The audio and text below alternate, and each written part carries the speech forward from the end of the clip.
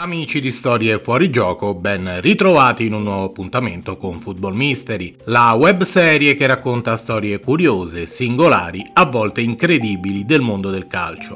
Apriamo un capitolo dedicato agli affari più clamorosi di calciomercato per ogni principale club. Nel corso degli anni il costo dei cartellini dei calciatori è aumentato esponenzialmente, ma spesso anche nel passato si sono raggiunti accordi a cifre stratosferiche. Andiamo a scoprire quali sono stati gli affari più onerosi, considerando sempre il costo effettivo del cartellino, compresi eventuali bonus versati. In questo capitolo andiamo a scoprire i 10 calciatori più costosi nella storia della Juventus.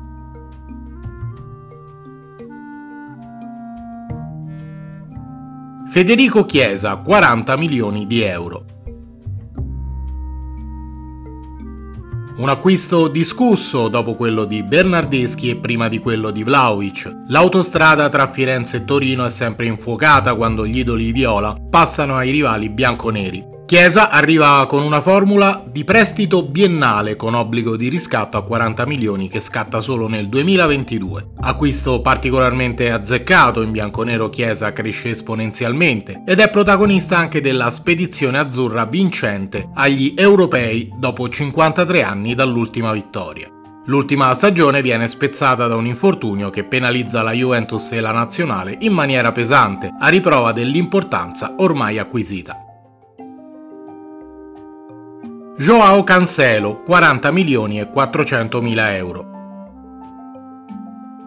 Da molti considerato il miglior terzino al mondo nel 2018, la Juventus lo strappa all'Inter, che non ha la forza economica per riscattarlo dal Valencia. Oltre 40 milioni di euro, ma la stagione non è folgorante come quella in nerazzurro, soprattutto manca la consacrazione in Champions, nell'anno dell'arrivo di Cristiano Ronaldo in bianconero. La qualità però resta, tanto che il Manchester City pagherà poi 65 milioni di euro per portarlo in Premier. Paolo Di Bala 41 milioni di euro.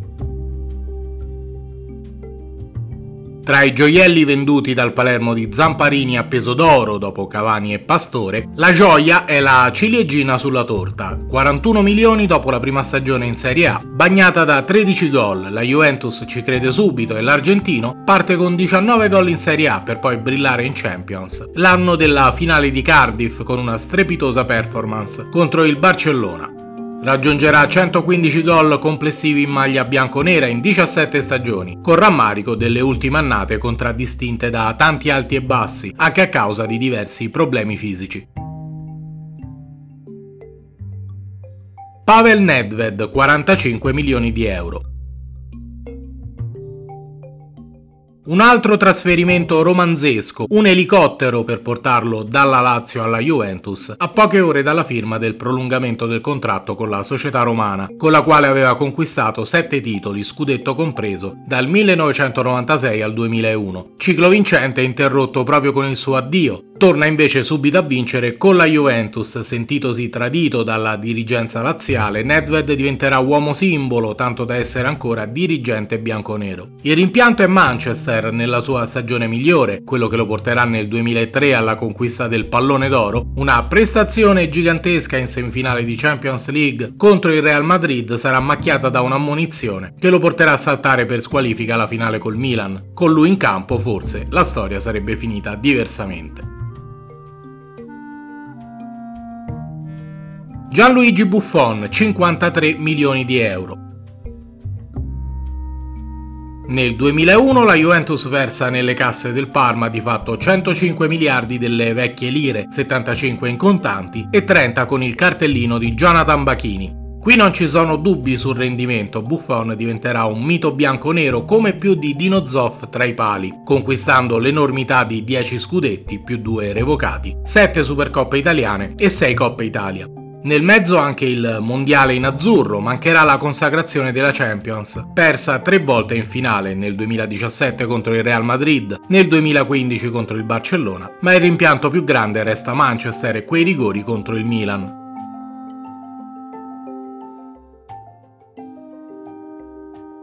Arthur 76 milioni di euro. Valutazione enorme per il centrocampista brasiliano in un affare col Barcellona in cui la Juventus ha comunque valutato 60 milioni. Il cartellino di Miralem Pjanic. A bilancio una cifra che comunque è importantissima per un calciatore che è arrivato 23enne a Torino. Si pensava potesse esplodere ma che complici anche tanti problemi fisici non è ancora riuscito a fare la differenza pur restando nel giro della nazionale brasiliana.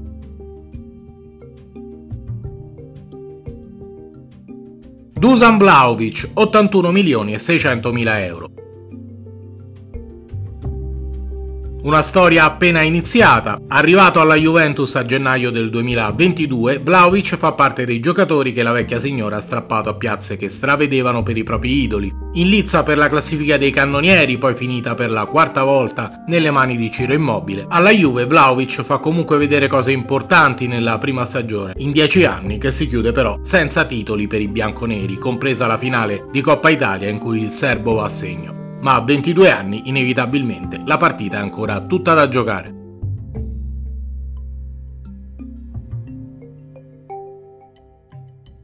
Matis Delict 85 milioni e 500 mila euro.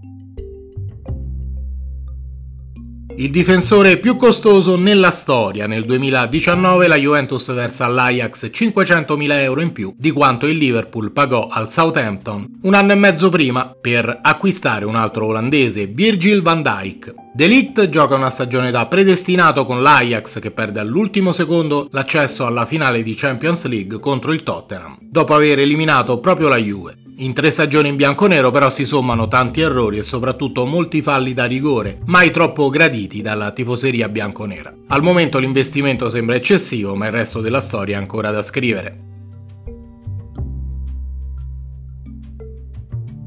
Gonzalo Higuain, 90 milioni di euro.